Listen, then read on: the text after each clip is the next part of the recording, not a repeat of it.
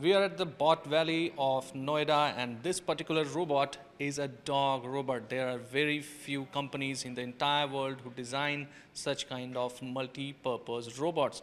What it can do, how it is useful in disaster relief. We have been joined by the engineer who has designed it. Uh, sir, your name, please. Ankur Yadav. So Ankur, uh, what is the idea behind this robot? We have seen such kind of robots in movies, in uh, you know Western uh, news and all, and uh, you know they use it in the in their military. They use it for you know disaster relief. What it can do? Yeah, so this is a this is a dog robot quadruped. We have named it Tracker.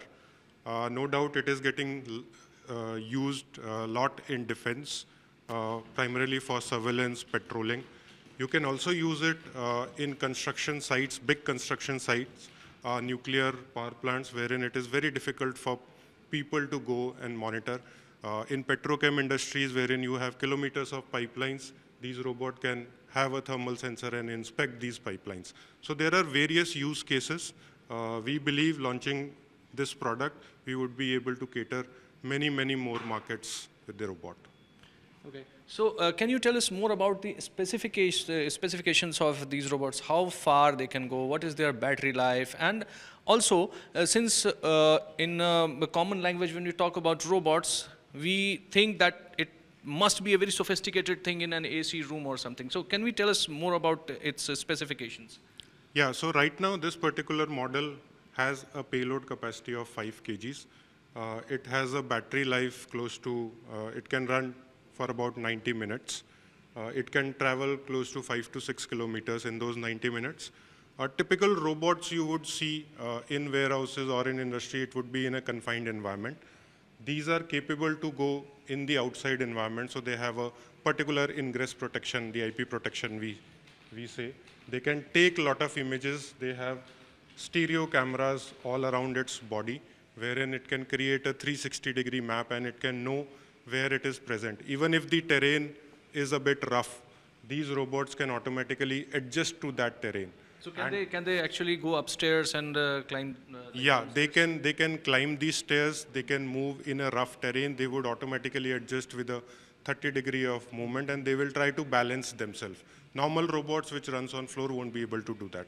That's the speciality of these robots. So, uh, if these robots are uh, put in use, so any place, any place which is hazardous for any human employee to go in, these robots can go. Yes, definitely. The nuclear sites, the construction sites, uh, we see a lot of fatalities in construction sites when people go for surveillance. They can create the map of the construction sites. They can measure the kilometers of pipelines which are there. They can inspect them. They can raise alarm when they see an abnormality in the pipeline. So all these use cases are there for these particular robots. So this is a dog bot, and uh, this is a very you know robust kind of robot, and this is actually is going to be used in robust scenarios. Now these robots you you can see are very sophisticated. These are you know sophisticated to that end that these can be used in medical purpose. So Ankur, can you tell us about uh, these uh, this robot? The- Yeah. What is this? What so, can this do? So this is another uh, possibilities we are unlocking with these kind of robots. We are entering into the healthcare sector. Uh, this particular robot is a collaborative robot called HEAL. Heal. Yes. Heal means it will it will heal the patient. It will give a relief to the patient. Uh, this is a collaborative robot. It has lot of force torque sensors. So if you put some kind of pressure on it, it will try to move the ter- move the trajectory of its arm uh, in a way not harm the patient. Uh, you can put several kind of attachments on this. Uh, it can help you do different kind of motions with your hand, with your limb, with your body. With these robots, we want to free up the time of healthcare heroes who are there, be it a doctor, be it nurses. Lot of monotonous work which goes inside, say, a lab. A lot of testing needs to be done, and a lot of monotonous work is there. These robots can do that, and only the brain part which is there, wherein you actually require a physician or a doctor, he spends time only in that particular area. In a way, he can increase the number of patients he sees because most of the work would be done by these kind of robots. Uh, Specifically, when we talk about this particular robot, this is a kind of a robot which is actually, you know, helping the physiotherapist to sparing their time because this is the job which, which I can see is a typical job of a physiotherapist in case of, uh, you know, uh, some uh, problem in somebody's hand or somebody's limb. Yeah, so these are exoskeletons. This is a wearable robot. So typically, when you see a stroke patient or any kind of nerve, nerve damage, uh, they need to learn all the motions, either of the hand, the upper body. This particular robot, you can wear it in the hand, and it will, and you can program it. It will teach you how to move, what all directions needs to move.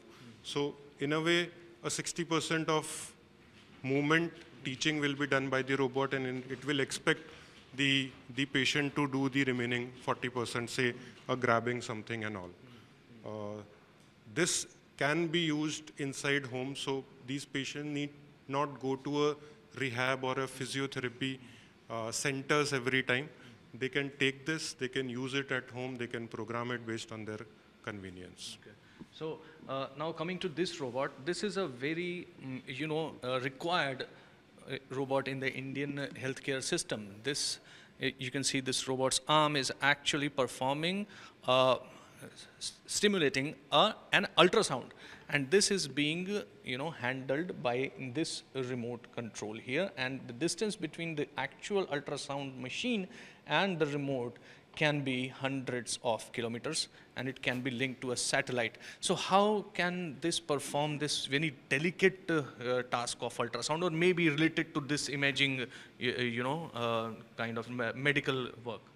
Yeah, so this particular robot uh, is used for remote imaging. Uh, it has a haptic sensor with it. So this particular robot you can put, there are close to about 9 lakh villages in India. Uh, most of them would not have a healthcare center or a good doctor. You can put this particular unit into say that remote village. The doctor would be sitting inside a metro, Delhi, Mumbai. They can remotely operate this particular robot. They can take all the images, send it to the doctor, and doctor can actually prescribe what is to be done uh, with that particular patient. Uh, it has lot of sensors attached to it. Uh, so if you feel a bit of stress or the patient feels uncomfortable, it will try to move back and it will also give that particular pressure on this haptic device. So the doctor also gets to know, okay, that this person is feeling uncomfortable. In a way, it's then this makes this complete arrangement very safe for the uh, patient. So it's completely safe despite being a robot and being handled from a distance through uh, you know internet and satellites it's still very safe for patients because you know this joystick actually this pressure the, uh, uh, the amount of pressure one wants to you know apply on the patient can be felt in this joystick Yes, yes. I just felt it like it stopped at one particular point, and now I am feeling the pressure while I'm trying to press it down. So this is this is uh, truly we can say this is a kind of a revolution in the um, health industry. Robotics is the future, and India is actually moving very fast towards this future. With camera person Abhishek Singh, this is Abhishek Anand reporting for India Today.